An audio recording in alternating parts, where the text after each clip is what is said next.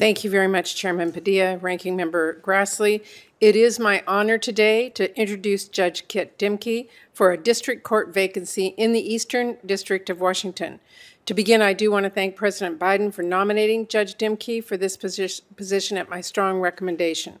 And I also want to recognize my nonpartisan Judicial Merit Selection Committee, chaired by Andy Miller and comprised of top Washington state lawyers who practice in Eastern Washington, who so ably guided us in selecting Judge Dimke for this position. Let me share a little bit with you about Judge Kit Dimke. She is currently a federal magistrate judge for the Eastern District of Washington. She knows the current judges and all court components well, having served in that role since 2016, and is a highly respected judicial colleague. Given this current role, she has substantial experience in both criminal and civil federal litigation. She's active in court governance and local public outreach and would continue this type of leadership if confirmed. She serves as the vice chair of the Ninth Circuit Magistrate Judge Executive Board and participate in, participates in the court's Judicial Institute, volunteering to judge the court's civics competition for students.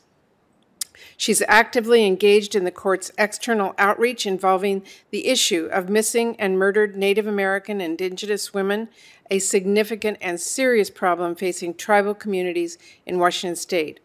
Her entire career has been in public service, and she previously worked as an assistant U.S. attorney in both the Eastern and Western districts of Washington.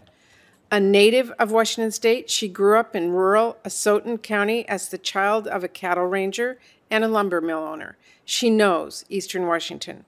Judge Dimke attended the Running Start program at Walla Walla Community College in high school and went on to obtain her undergraduate degree from Pepperdine University and law degree from Vanderbilt. Judge Dimke is someone who has a proven track record, who's committed to improving access to the court, and will identify ways for the court to work equitably for all participants and for each voice to be heard. She has already demonstrated herself in this way, having, as a magistrate, worked to expand the court's mediation services, improved and diversified the court's indigent defense services, and more quickly resolved one of the top areas of litigation the Eastern District sees Social Security disability appeals. Judge Dimke is eminently qualified to become a federal district court judge and will make an excellent addition to the federal bench from the Spokane Courthouse.